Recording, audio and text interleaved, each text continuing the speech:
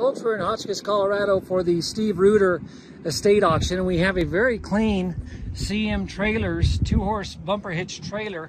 I think it's a 94. I'll verify that with the title, and we do have a clean Colorado title on this. And so I just wanted to do a quick walk-around video for you and kind of give you a good idea, hopefully, what kind of condition this in. And I apologize for the wind. And I wish that we could get by without it, but unfortunately, it's summertime in western Colorado, and the wind's going to blow. So I'll start up here on the front. We have a two-inch ball with the, uh, I call it a six-prong plug. The trailer lights. The hitch and the jack appear to be good. The jack does work. There's a little damage on the guard or the trim, whatever you want to call that, around the nose. You can see that right there. But other than that, I think the trailer's in pretty good shape. And we'll walk around so you guys can take a look. So we're here on the right-hand side on the front. That door opens right up. And it is in good shape. You've got your spare tire. You can see that we've got rubber mats across the entire trailer. If I peel this little corner up, I think you can see the boards look good. Floor looks good, so I think it's good all the way through, guys. You've got your divider here in the front. You'll notice here in the front, there is no feed area. You've just got your rub bar right there for your horse to come up against. And so you could store some stuff up here in the front or, or something like that. The roof on this trailer looks like it's in very good shape on the inside. I'll take a look from the outside so you guys can be sure of that as well. But uh, looks good here on the front. So let's shut this door and we'll come on down the side here.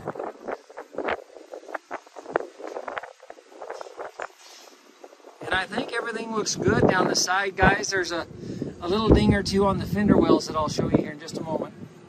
The front part of the fender well looks good, but you can see they've, they've done something right here where they've cauterized something. So a little minor damage right there, nothing material. The tires look good. The tires look really good. I don't see a lot of weather check. I don't see hardly any weather check, and the tread's very good on the tires. So we'll come around here to the back.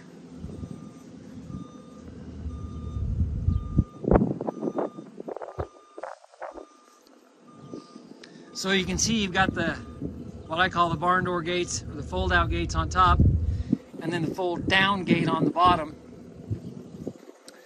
So let's open these up. So there's the right hand side. There's the left hand side. The doors look good, guys. I don't think this little trailer has seen much use. This is a pretty clean little two horse trailer. So, in typical Mr. Reuter fashion, I've noticed he likes rubber snubbers and baling twine. so, give me just a second here. Get that up, move that out, undo this. There's a process here. And push that one up, bring that one out. And this door should fold down. A little stiff, guys. It's been a day or two. Okay. So that's what that's what we look like from the back end. You can see you've got your rub bar for the front and the rear for your ho horse on each side. Got your divider gate with the bumper in the middle. I'm standing on this door here on the back, guys, and I, I feel like it's pretty solid. When you get to the outside edge, I feel like it gives a little bit more like right in here. I think you're okay for a long time. You'll definitely want to put some WD-40 on your hinges. But guys, my goodness, this is a clean little trailer. Holy cow. And it looks like the doors all swing and function the way they should. I guess I can't do that until I put the gate up. Sorry about that. So we'll see if we can't get the gate. And you can see the gate's actually off the ground. Those springs are still got some tension in them.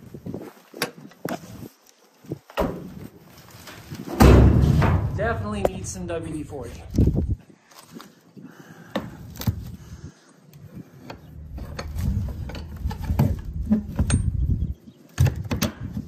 There's that one.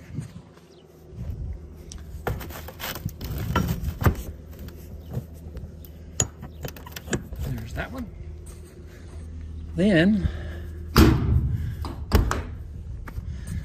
that door shut there. Little WD-40 all the way around on the on the gates sure wouldn't hurt, guys. So now, let's come down here on the left-hand side. And as on the right-hand side, there's just a little damage right here, nothing material. Tires still look good. And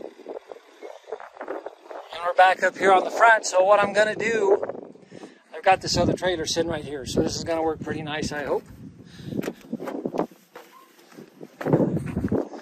That's what it looks like up on top, guys.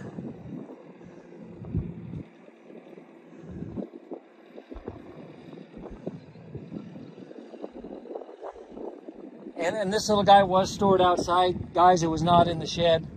Um, but that being said, what a clean little two-horse trailer. So we'll go ahead and put her up on AuctionTime for you. And it'll be on Equipment Facts, I'm sorry.